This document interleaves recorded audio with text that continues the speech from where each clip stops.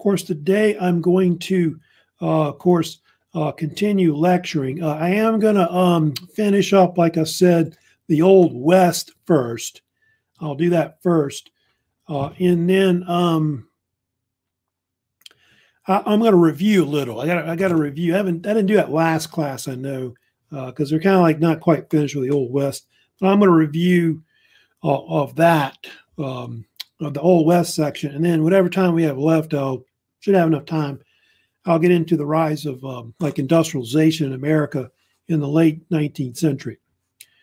Now, of course, at the beginning of that video, I told you, I showed you the fact that, you know, uh, one of the big things that's going on uh, in the Old West at the end of it is the settlement of it, which happens very quickly in a matter of just so many few decades. I think really in about 30 year period from 1870 to uh, 1900, um, the West is settled very fast. Uh, and um, we study about before that, going back to like Jamestown in 1607 when they English set up the first colony. Uh, from 1607 to 1870, about maybe 400 million acres were settled or so. And they believe in like a 30 year period that that doubled, that basically about, I think it's like 430 million uh, acres were settled at one point, uh, up to about 1900. And of course, the Homestead Act, more than half of it was settled using that.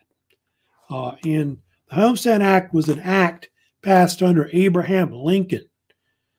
Uh, it was part of it was to get more support from the North and the Union side. And what it did was it allowed um, any Northerner who hadn't fought against the Confederacy uh, to claim free land uh, in the United States that was just not occupied. And so they, they you could get like 160 acres of free land, and all you had to do is pay some kind of filing fee for it if you had the money for that. Uh, and um, so he said like they, they said like something like um, over a million people tried. It's like Kenneth is joining. Hey Kenneth, uh, and uh, so we're talking about the Homestead Act and so, yeah, close to over a million people tried to get this land as homesteaders uh, in the Old West.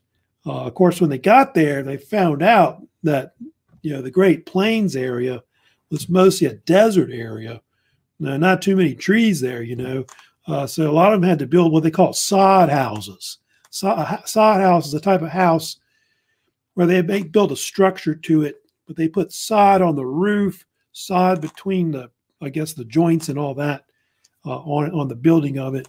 And so that was the typical kind of house that people built in the 19th century uh, in the Old West. And um, a lot of people that became uh, homesteaders were sometimes called sod busters because uh, they built these sod houses. And um, they're part of the reason why the long drive and the cowboy declined like we, which we talked about from last class. Uh, there was a lot of confl- conflicts between the uh, homesteaders, sod, sod busters, you know, versus the people that wanted to have like the open range. And so the open range would eventually end uh, because of the Homestead Act. Uh, they also found out there was a lot of water problems when they went out to the Old West. Lack of water, like if you weren't near a river or something, that that created a lot of problems. So a lot of people had to like, you know, have like dig wells or have windmills that would, you know, pump water out the ground. That's how you got your water um, in a lot of cases. So Homestead Act was pretty important. You saw in that video I showed you that they at one point they think that up to 270 million people uh, may have eventually at one point filed uh, for these homesteads. That's how many acres was eventually, you know, settled because of it uh, because of the Homestead Act. Uh, anybody could participate, you know, uh, unless you're for the, unless you'd fought for the Confederacy. You know, I think you couldn't do it, but um, pretty much a lot of immigrants uh, were homesteaders.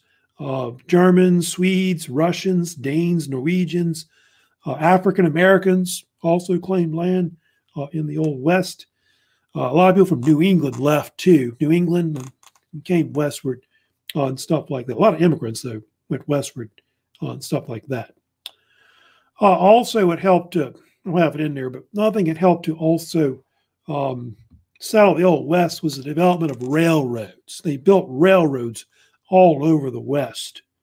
Uh, back by the 1880s, there were five transcontinental railroads that linked the East to the West, part of the United States. And so a lot of people settled near railroad towns. You know about that, um, which is where a lot of people settled originally, or like mining towns, but you know a lot of them were probably connected with railroads um, also as well. Uh, they had to figure out. Oh, here, here's another thing too, showing you a little more information about the homestead. Yeah, there was a minimum age, by the way. You had to be at least 21 years old. So yeah, um, so you couldn't obviously be younger. Uh, there was a certain age uh, requirement, of course, for it. Uh, head of household usually had to, you know, do it.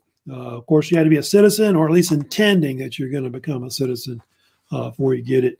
The land itself was free uh, but you had to pay some kind of filing fee for it. So, oh, another thing too about the Homestead Act you must live on the land and improve the land for five years to make the land officially yours. So, some reason you can't stay on the land and improve the land, you lost your land.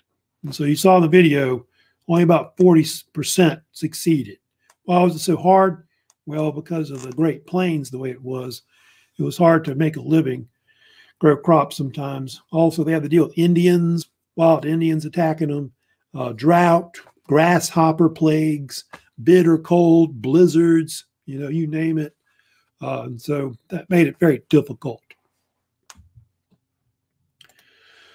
Uh, however, they did develop new techniques for farming, which is often called dry farming, as they called it. In homesteaders, what they did was when it would rain or when they would have like frost or snow, whatever, uh, they would plow the land uh, so that the uh, a layer of soil would be on top of the, the moisture. Uh, that would trap it in there so they could you know help grow crops later. And that's how the technique of dry farming mostly worked.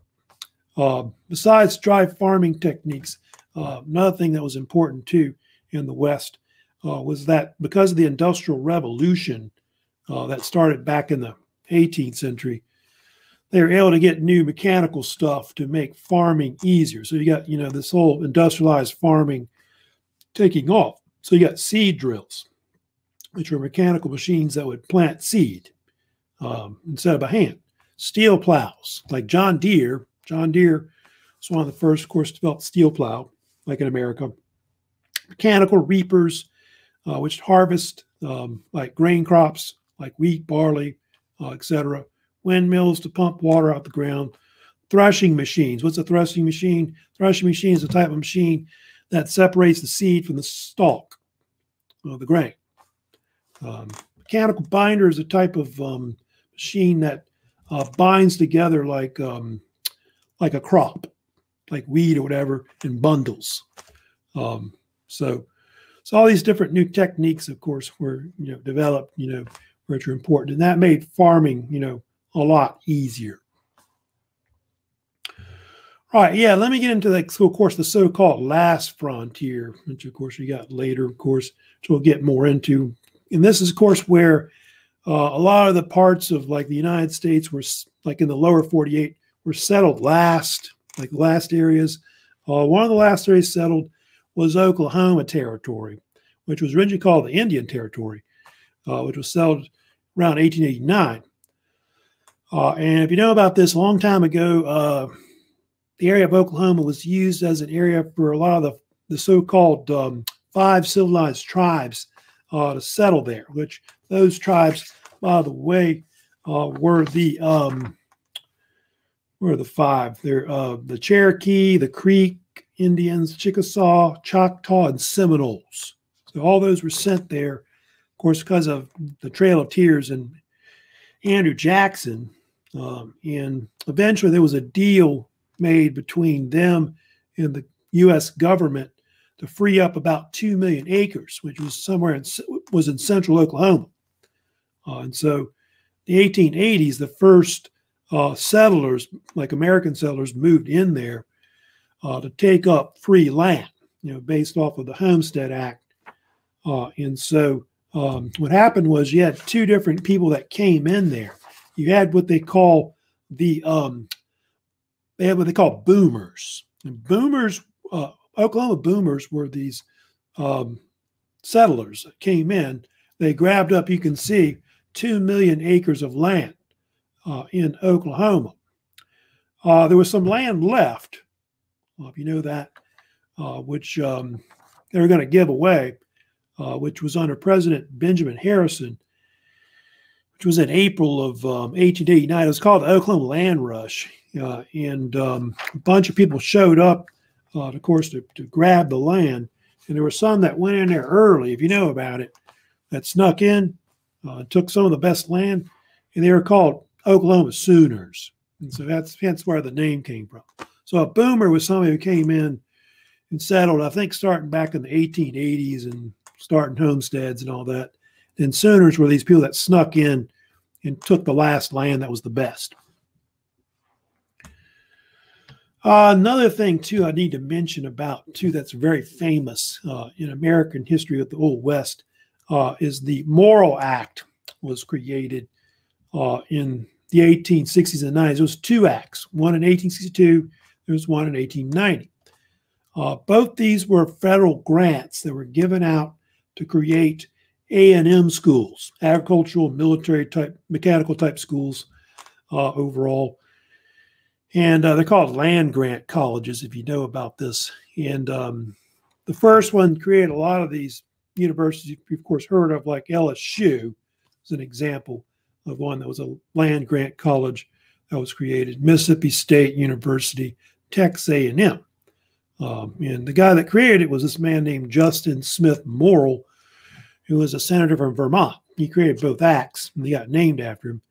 Uh, and uh, then that other one here, the second Morrill Act of 1890, uh, it gave federal uh, grants to create land grant colleges for African Americans.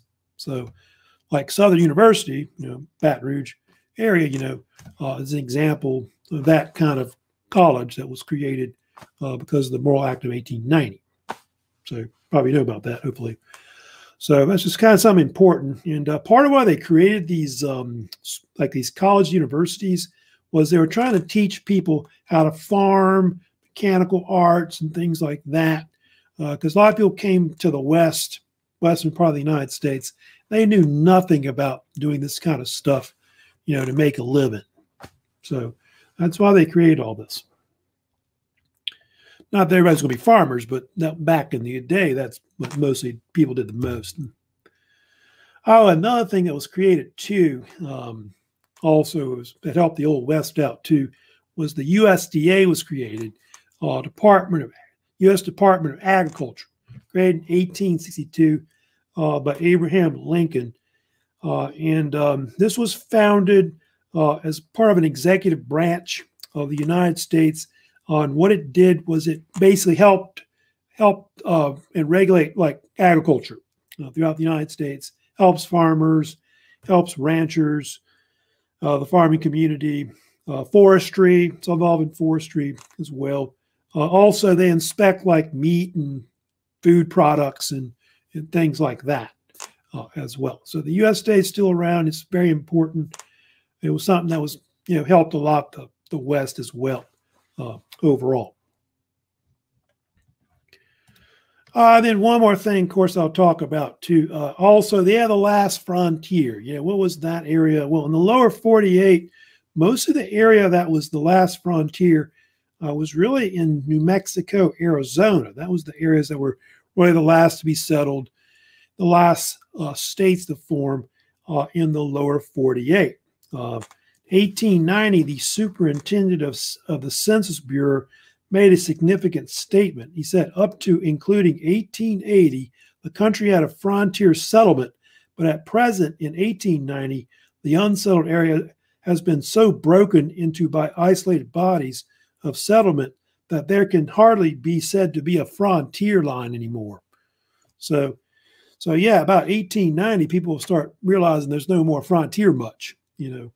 Uh, even the old West with all the outlaws and all that, you know, like was it Butch Cassidy and Sundance Kid realized that they got to, it's not here to rob no more. So we got to go to Bolivia, you know, or something like that. So they went to South America.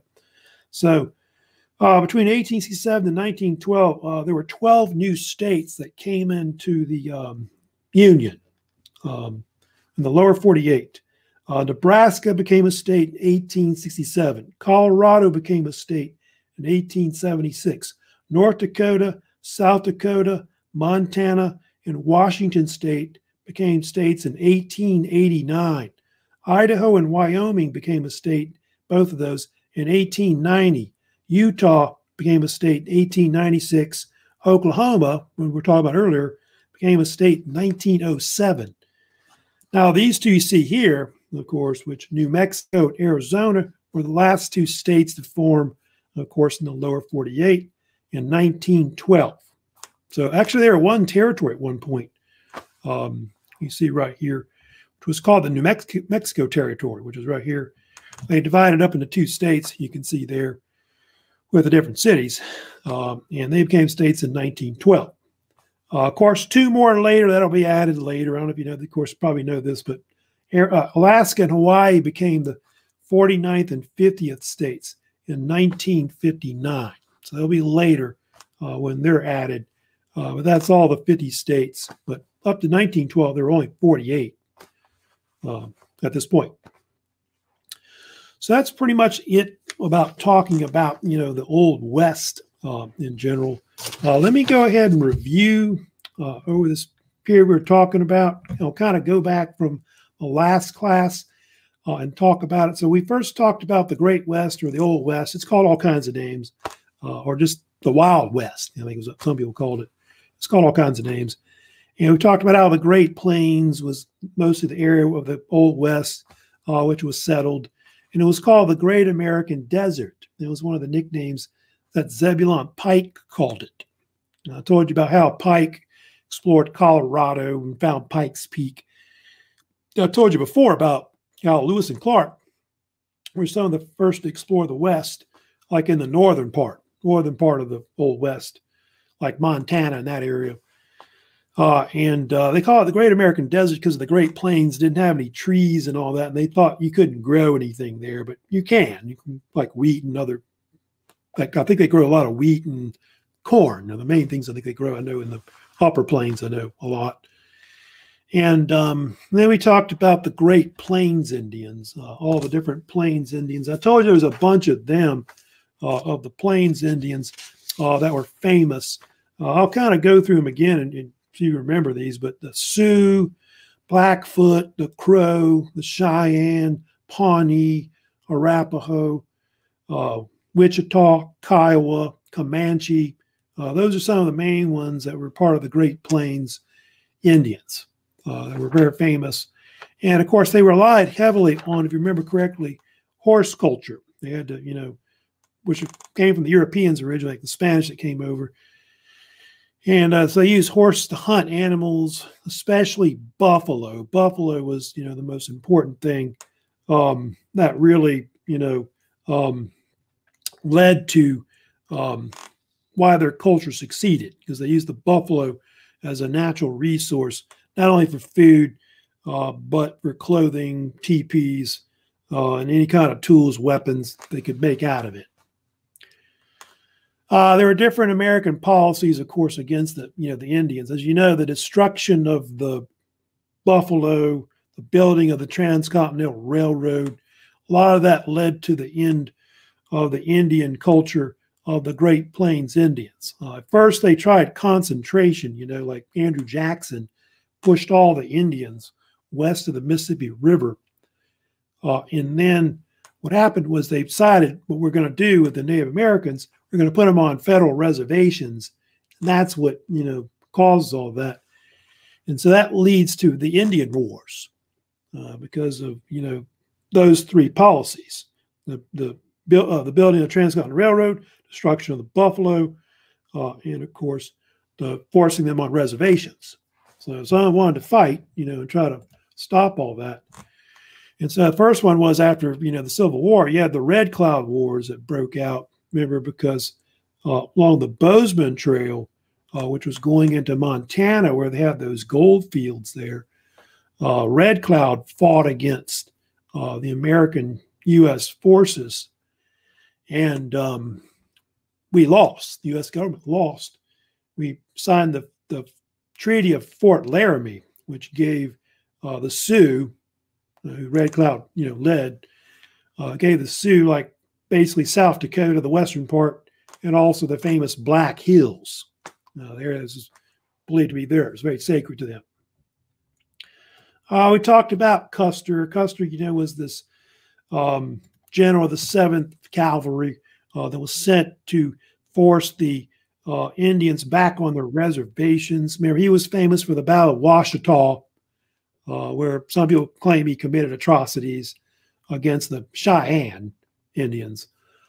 Uh, the Battle of the Little Bighorn was the peak battle of the whole uh, Indian Wars at the Civil War, uh, which took place in June 25th to 26, 1876 in Montana. Seventh Army fought, Seventh Cavalry fought against um, what is basically a combined force of Sioux and mostly Cheyenne, uh, who were led by Sitting Bull, of course, a famous uh, chief and, and, medicine man. And also they had the warrior, uh, Indian warrior, of course, Crazy Horse, who was under them. And of course, you know what happened, right? Because you probably hope, hopefully have seen the video already, uh, watched it, but um, the documentary I gave you. But Custer's forces got wiped out, uh, and so it kind of looks bad for you know the U.S. side. That's what angered the United States, and they think that the whole battle, of Little Bighorn, actually, even though it was the greatest victory of the Indians, led really to the end of the of, of the Indian struggle, and they were forced back on reservations. Uh, wounded Knee, often called different names, Battle Wounded Knee, Battle, of course, also called Wounded Knee Massacre, is what the Sioux called it. That happened in eight, December 1890. And that was an incident where the 7th Cavalry uh, killed men, women, and children, like in a massacre, because uh, they thought they were trying to attack them. Uh, but they were really just being disarmed on a reservation there. And a lot of them were uh, trying to, uh, or they think they were trying to revolt uh, against the Americans again because of the popularity of the Indian um, revival movement that was called the Ghost Dance. The Ghost Dance was this movement where Indians believed they did this dance, which wore like special kind of ghost shirts, I think they were called. Uh, that that what would happen was that the buffalo would all return and the um, all the, the American settlers would disappear. They'd get their land back and all that. Sitting Bull was involved with it, and he later was arrested, and they killed him by accident. I think he was killed by Indian police. Um, and of course, we talked about how the Indians were, you know, they tried to Americanize them, you know, make them like into like civilized Americans, cut their hair, make them Christians, uh, which somewhat worked and then somewhat with a failure as well. Uh, Century of Dishonor was a book I told you by the writer and author Helen Hunt Jackson. Uh, she was one of the first Americans to write a book about how the uh, American government had mistreated uh, the Indians, how they'd broken all their treaties with them and stolen their land. Uh, and so it un- un- uncovered all the abuses of the U.S. government and probably the um, Department of Interior, uh, which dealt with the Indians and all that. Uh, it led to some reforms, which some worked, some didn't.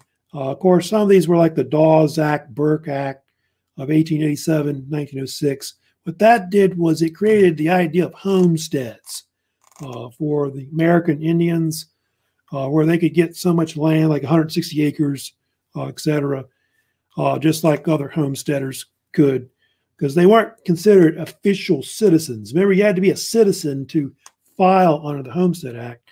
So this allowed them to basically file like their own version of the Homestead Act. But the only problem with this act was that, and other, the other one, Burke Act later, is that a lot of the land that they gave the Indians, they couldn't really do much with it because it was just terrible land. They're given like the worst land. Uh, and so uh, or that speculators would come in and steal their land from them because they had to stay on the land for 25 years instead of five. So it's really difficult. Uh, then we talked about the cattle drives, the cowboy. Uh, of course, uh, that was fueled by the cattle industry in the East, like the slaughterhouses in Chicago, St. Louis. And so uh, cowboys developed in the 1860s and peaked up to the 1880s. And the earliest cowboys were actually Mexican. Uh, they came from Mexico or Texas. They were called vaquero, vaqueros.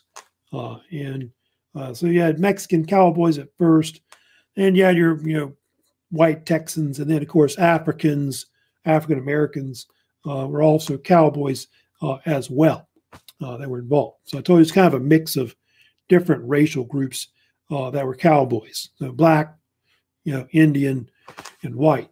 Um, what was the long drive? The long drive uh, was where they uh, drove the Indian. they drove the um, the cattle up to uh, what are um, cow towns uh, that are basically uh, in the um, are in the old west, like uh, in the Midwest anyway, uh, and um, the um, like Abilene, Kansas, Dodge City, and um, there's another one there, Colorado. The head that was big. Um, I couldn't remember that one. But Dodge City, Tombstone, you may have heard of that one. Abilene, not Tombstone, uh, Abilene, Kansas City. Kansas City was a big one where they shipped them to because Kansas City had a lot of slaughterhouses to know. Uh, Deadwood, South Dakota, that was another one. They also sent them to. There's a bunch of places up there where they sent them to where they had railroads and then they would ship them east, uh, the cattle.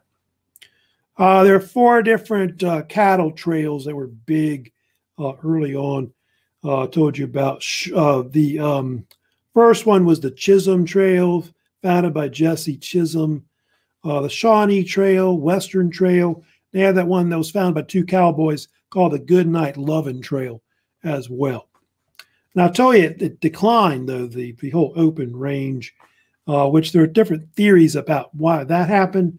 Uh, but a lot of it had to do with uh, they built railroads, of course, in the Texas later. Uh, of course, a Homestead Act was another reason, which we just talked about earlier. Droughts, um, you know, lack of grazing land was a problem too. They had as well. I told you how barbed wire was invented, and so all these homesteaders, like the sod busters, came in, and they started to, um, you know, grab the land and break it up. Uh, then we talked about, of course, the stuff that we just did now. Uh, of course, uh, the Homestead Act, I just talked about that. That was that famous act passed under Lincoln uh, that created all these homesteads in the West that were usually around 160 acres, but you had to be at least 21 years old uh, to get the land. And you had to stay on the land for five years uh, and, and like improve it and all that. So you saw the video um, only 40% succeeded, uh, but 270 million acres of land was eventually settled uh, due to the Homestead Act. Sod houses were the kind of houses they settled, I told you about on the Great Plains because there was a lack of wood or things to build buildings out of. Uh, so they used grass sod. I'll tell you about farming techniques, how they would plow the land when it would rain or snow, or even if they had like frost on the ground, and that would help to uh, leave moisture under the ground. And I told you all the techniques they developed because of the Industrial Revolution, uh, from mechanical, you know, harvesters uh, to windmills um, and so on. We, we already talked about that already just a few minutes ago, uh, but that definitely helped things in the Old West. Um, steel plow, you know, I talked about the Oklahoma Sooners, really the Boomers and the Sooners. The Boomers were the uh, first settlers that came into Oklahoma that settled in the 1880s. So they got the name Boomers. And the Sooners were the ones in 1889 that came in and snuck in and took the last land uh, that was still there available, the best land. And they got the name Oklahoma Sooners, which is where the foot, college football team gets the name from, by the way. Now I'll tell you all the states that got settled. Like the last two were, you know, Arizona, New Mexico, and all that, which I guess are here. Uh, that's over the Morrill Acts were those two land grant um, acts passed by the guy, the senator from Vermont, Morrill. Remember Justin Morrill, Justin Smith Morrill. 1862 Act created all those mechan- A&M mechanical type schools uh, that, uh, like LSU, A&M, Texas A&M, uh, Mississippi State. Then the 1891 created all the African American A&M colleges like Southern University. U.S. yeah, I told you about that. U.S. Department of Agriculture is important, of course, regulating agriculture, farming, um, ranching, also forestry, stuff like that. And of course, I'll show you about the last, already the last states that came in the Union, lower 48, of course, the 1912, Arizona, of course, New Mexico at the end. Right, let's go ahead and move on. Of course, we'll talk a few minutes, of course, about the rise of industry and capitalism. This happens in the late 19th century, mostly after the American Civil War. And uh, what happens is uh, you get this deal where uh, the um, you go from having small businesses to having large sized businesses. Uh, and you know much about before the Civil War, uh, before the Civil War, most businesses were owned locally by either individuals or families. Uh, in fact, you would have like a maybe a, a sawmill or a textile mill. It was owned by someone or a family, and they would run it. And sometimes I call it a mom and pop type operation. And that's pretty much what you had. And then after the Civil War, things began to change. And you have all these companies and corporations that emerge. They take over all the industries. A lot of the people that have small businesses are kind of put out of business. It's kind of like Amazon's putting out all these, putting a lot of businesses out, you know, because of that. Like Sears is not doing well, you know, like it used to. Sears used to be the biggest you know, store that sold a lot of goods, and but it's been getting put out of business by like Amazon, you know, and so on like that. So it's kind of like the same thing uh, that happened. And um, the people that created uh, these um, industrial companies and corporations were either called uh, a robber baron or they're called captains of industry. It's kind of a debate about which it was it's like this picture I'm showing you here, but a lot of the lower classes or poorer peoples kind of viewed these people as like people that um, create their businesses in like unscrupulous ways or dishonest ways. Um, so they're called a robber baron. Although kind of like the name is kind of, you know, I think wrong uh, because uh, a lot of these men later uh, helped to really improve the country. They created the industrial country and economy we have now today.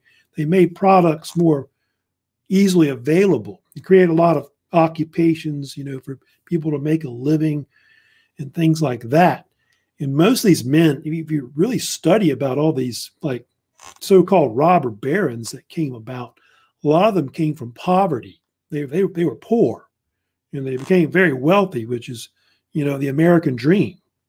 Uh, there's very few countries like the United States where you can come here and be successful and make a lot of money. People have done it. There's, I think this country has more billionaires, millionaires than probably any other country in the world uh, overall. Uh, I do have a video I'll show you real quick, uh, which is on this topic of quote robber robber barons. Of course, it goes through some of the famous robber barons that you probably heard of. You probably heard of Andrew Carnegie. Uh, you probably heard of the name Rockefeller, uh, Cornelius Vanderbilt, J.P. Morgan. Uh, those are usually considered the ones uh, that are the most famous. So let me go ahead and show you this film clip. It's on the robber barons.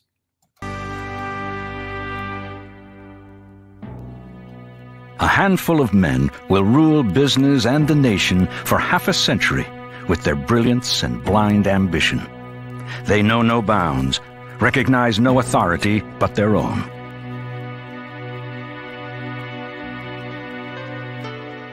The people who were called the robber barons by their critics, and I suppose would be called industrial titans by their admirers, were really the, the agents of the first stage of modern industrial capitalism. Uh, an enormous number of the of the big corporations that are still a major part of American life were created in the late 19th century. Most of them by very talented, very aggressive, often very ruthless individual entrepreneurs.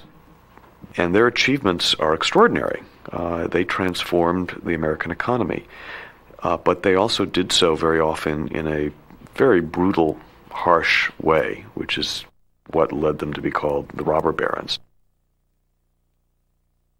The most powerful of these men is J.P. Morgan, the man who finances the railroads and the rest of American industry.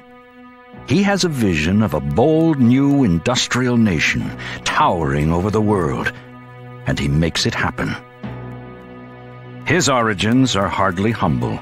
His father is a rich international banker who worries over his son's often impulsive judgments.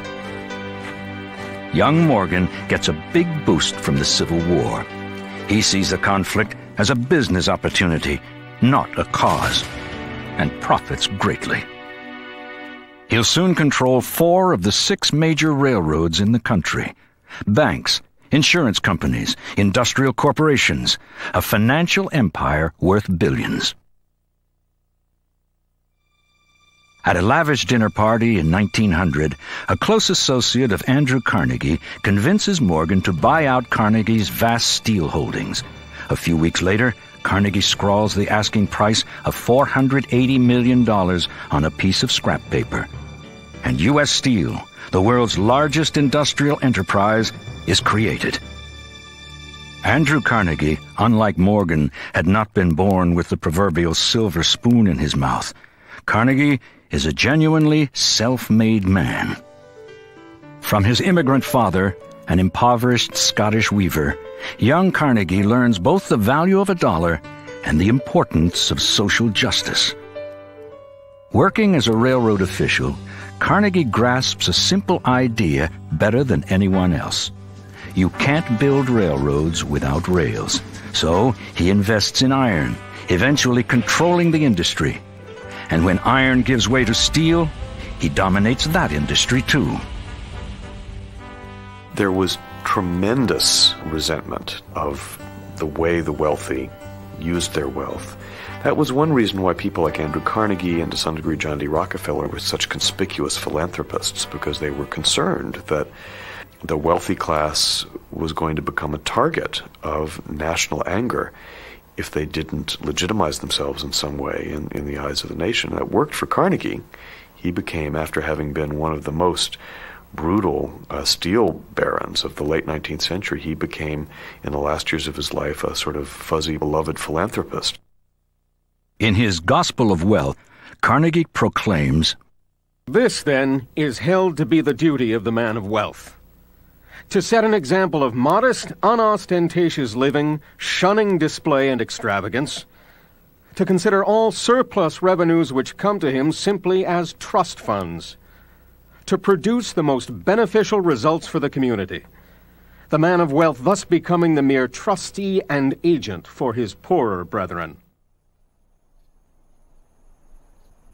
Still, many prominent citizens wonder if the growing gap between rich and poor will do lasting harm to American democracy. All right, so a little video clip there. They talk about some of them, of course, robber barons, uh, of course, that are famous. Then you go into John D. Rockefeller, but we'll get to Rockefeller later.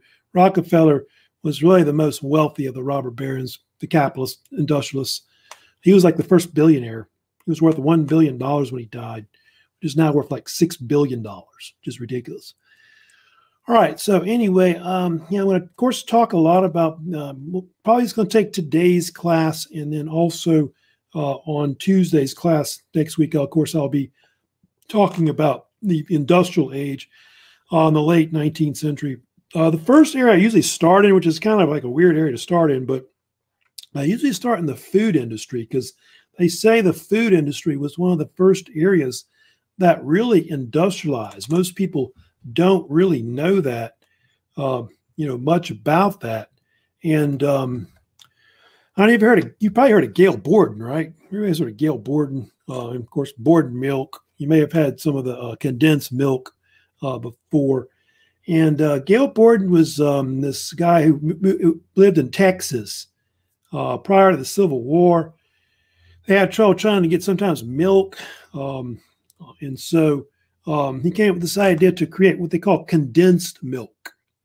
Uh, and it was mostly became wealthy um, because of during the Civil War, there was a need in the North for troops to have milk, but you know, milk would spoil, you know, about that pretty quickly. So this is the kind of milk you could put in cans. Uh, and um, he moved to later New York and became one of the first, I guess, food industrialists, you want to call it that, because uh, he created, I think, um, condensed milk in 1853. That was when he came up with it. Of course, I have Borden's milk and other products. Uh, I don't know if Borden is doing as well as it used to, but they're still around. Uh, Borden. I know they make that the Eagle brand uh, they make with condensed milk and stuff like that. Other milk, evaporated milk too. Of course, they also have as well. Uh, H.J. Heinz. I don't probably think much about H.J. Heinz, but Heinz, of course, also is another guy uh, in Pennsylvania who came up. Actually, it wasn't ketchup first. He came up. He came up with the idea of like um, products where they would can stuff, like canned vegetables, canned pickles, uh, canned tomatoes, and things like that. Initially, and they started making ketchup, you know, and some of the products like that, and that's what you know made you know Heinz very very famous. Uh, they think that Heinz eventually created this product uh, back in the 1880s. Uh, really, ketchup was made about that time. And then from there, it became real popular uh, and spread to America and then all over the world. So Heinz is one of the first uh, companies or corporations uh, to create like food condiments, uh, canning vegetables, and uh, stuff like that. People probably already did that, you know, canning stuff, like especially in the West. They had to do a lot of canning, you know, sometimes uh, put them in jars or whatever. But uh, it was the first mass production of it that happened. Uh, another industry that was big too was the meat packing industry. I don't know if you know much about that, uh, but the meat packing industry was really big uh, as well. Actually, the guy I want to talk about first is not Swift. There's a guy named Philip Armour. You probably heard of Armour, right? May have bought Armour ham or bacon or whatever. They still have it today. The company's around still.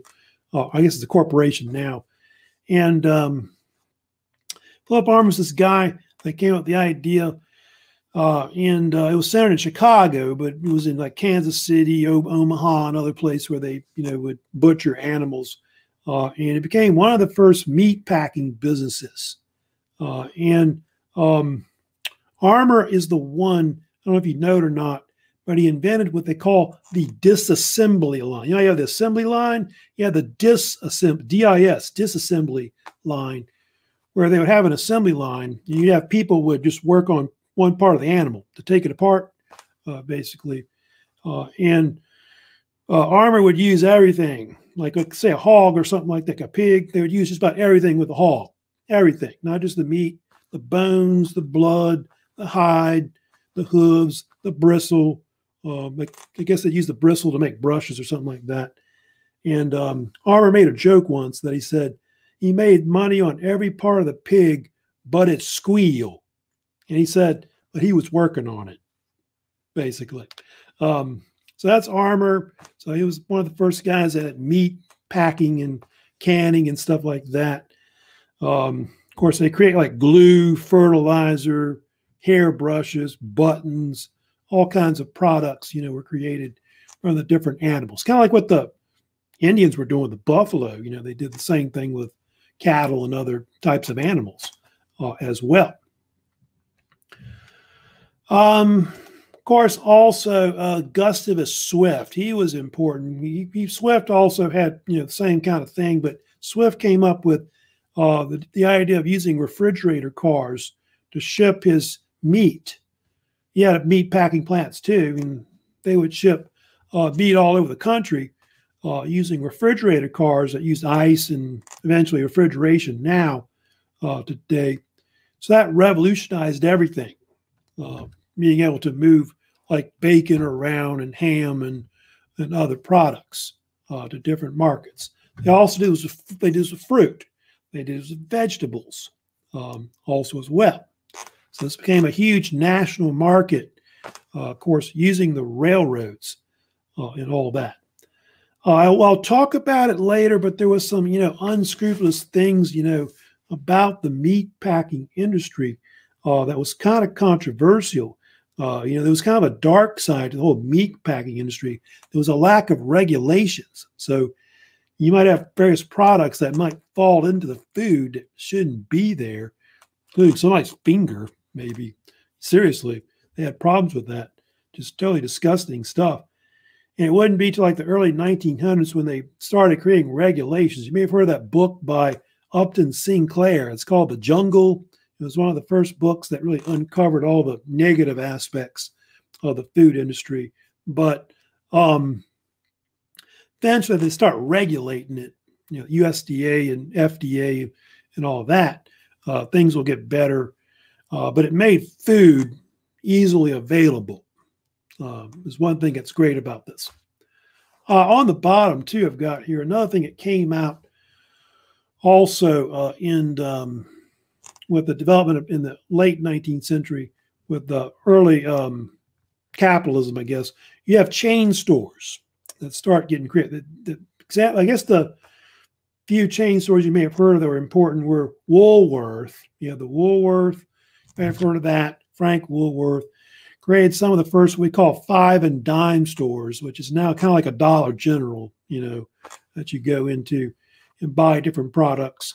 And Woolworths were around for a long time. They've closed down now, but uh, Macy's started in the late 19th century was really one of the first department stores uh, they had.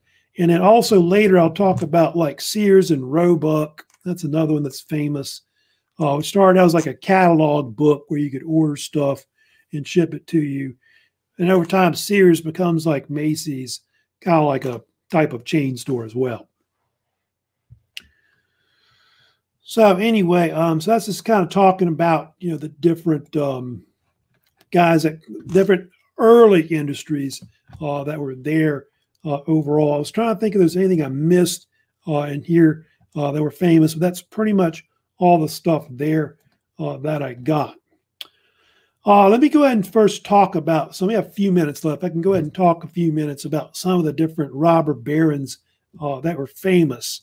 Uh, of course, one of the earliest ones they had, you can see all the ones that were big. Uh, you can see here Andrew Carnegie, steel, Rockefeller in the oil industry. Cornelius Vanderbilt was in the railroads, also steamships. Of course, J.P. Morgan was in finance and banking, and he also controlled a lot of the railroads as well. So those are the big ones. Those are the big four, uh, the so-called, you know, original capitalists. Uh, they were real famous. Let me talk about at least the first one here, Vanderbilt. We might have time for Carnegie too, but uh, Vanderbilt uh, was originally born in New York in 1794.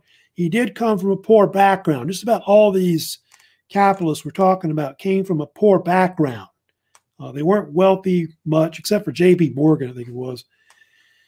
And uh, he never finished high school, or even probably middle school. Looked like he like at 11, he quit at 11. Uh, I think my daughter's in sixth grade, so he quit in sixth grade, uh, basically. And he borrowed some money, and he started a shipping business where he he, he uh, had a ferry. Uh, they would sh- um, ship customers from New York City to Staten Island back and forth uh, ferry people back and forth. And he made a lot of money. He started doing this like around the early uh, 1800s uh, and all that. And so uh, after that, he developed steamships, uh, Vanderbilt. And so Vanderbilt was later called the Commodore, you've probably heard of. And later on, he, if you know about it, Vanderbilt's famous for founding Vanderbilt University, which is in, you know, Nashville, Tennessee. And of course, their mascot is the Commodore because uh, of him yeah, found the school. Uh, he's more known for um, developing uh, like railroads. Like he sold his steamships uh, was a millionaire, and he started getting into railroad. So they consider Vanderbilt to be the first uh, railroad tycoon, and he controlled like the New York Central Railroad, the New York Harlem Railroad, uh, and so um, he became very wealthy uh, because of that. And then also you can see he was a philanthropist. He gave a lot of money away to charities. And I told you he helped found Vanderbilt University with $1 million. Doesn't seem like much now, but back then that was a lot of money. He wasn't as ruthless as some of the other ones, though, later. Um, kind of ruthless, but he was kind of honest compared to some of the other guys. Carnegie was kind of ruthless, and so was John D. Rockefeller. Uh, then you had Andrew Carnegie. Carnegie, of course, was originally from Scotland, so he's a Scottish American who came here at a very young age, and he came to he lived in Pittsburgh, Pennsylvania. Uh, that's where he would end up. And uh, Carnegie started out uh, working in textile mills uh, as a bobbin boy, and then he saw the video how he worked as a I think as a telegraph operator, and then uh, over time he worked for some various industrialists for like railroads. And um, what Carnegie figured out was that you could dominate uh, the steel industry uh, by controlling all the production of it, like the making of steel and all those resources that go with it. And uh, Carnegie heard about this process in England that was called the Bessemer process. It was invented by this um, British man named Henry Bessemer. And the Bessemer process was a process where they took these huge furnaces and they made steel out of pig iron, which it was like carbonized iron. And so Carnegie borrowed this process and began using it in his plants uh, in America. And so over time, what happened was Pittsburgh, if you know about it, became the center of the steel industry, especially in the United States and originally in the world. That's why like in the NFL, the Pittsburgh team is called Pittsburgh Steelers because one point that was the big thing, steel back in those days. And um, he had a company. It was called the uh, Andrew uh, uh, Carnegie Steel Company. It was called, and um, he eventually sold it uh, to a competitor, which is J.P. Morgan, uh, who bought it for four hundred eighty million dollars. That that created the first um, what they call uh, multi-millionaire corporation, like the first billion billion dollar corporation, which was um, called U.S. Steel, United States Steel, which is still around today. He took a lot of his money. He gave it away. Uh, I believe the amount of money that he gave away uh, was something like um, how much was it? Three hundred fifty million dollars. He was probably worth half a billion he gave away like 350 million or more of his dollars to different uh, philanthropy causes. And died in 1919 um, and um, he said a famous quote that he didn't want to die a rich person. He thought that was shameful uh, basically and so that's why he wanted to give away his money. He said i started life as a poor man. And i wish to end it that way uh, one thing about Carnegie, Carnegie um, is Carnegie Steel Corporation uh, practice something called vertical integration. And vertical integration is where a company or corporation will control all the processes of creating and controlling the steel or anything it's in. So what Carnegie did was he bought up mines where the iron ore was. Then he brought up trains like uh, railroads you know, to ship his his product, like the ore. Then he had his, um, of course, you know, smelting of it. He had plants that would smelt it, refining and rolling of it also as well. So all this was controlled uh, by his own corporations or one big corporation or really company. And um, that's how vertical integration is. Later, I'll talk about horizontal, which is where you control like one area, like one of these, here, uh, like John D. Rockefeller practiced horizontal, where he would control, you know, the making of petroleum products, you know, and all that. So, um, probably going to stop here for today. Uh, this is a good break point, but I'll finish up talking about uh, the rise of industry and capitalism uh, in in the late uh, 19th century. Um, I don't know if anybody uh, has any questions for me uh, right now. Uh, if not, um, of course, let me know later. remember, of course, you can send me, you know, comments, um, questions about the lecture. you do get bonus points for that. Uh, and uh, a few reminders before we go today. Um, don't forget, I have two new Canvas quizzes I've posted uh, on Canvas in um, should be in quizzes, and uh, you've got one, of course, on the Custer's Last Stand, on that video documentary I gave you from the BBC. Uh, so that there's a quiz on that, 50 points.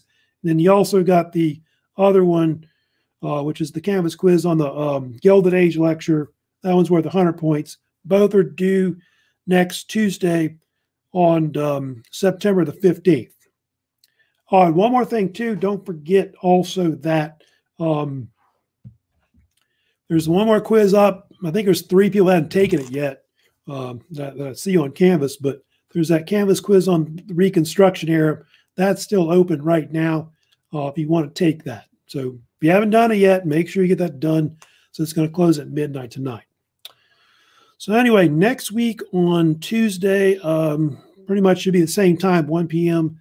Uh, I'll, I'll put out announcement next later, but uh, over the probably over the weekend, maybe on probably Sunday, or whatever. But uh, we'll have, of course, an upcoming lecture, which I'll finish up talking about the age of industry and capitalism in America probably talk about some other stuff too if I have time. Uh, and then um, probably that rest that week, I'll try to see if we can wrap up or not for our upcoming first exam. So that's it for today. Um, hope y'all have a good weekend coming up, but I'll see you next week um, on Tuesday, or if you watch this later, of course, uh, make sure you watch, watch this by the weekend. So y'all take care and y'all have a good weekend.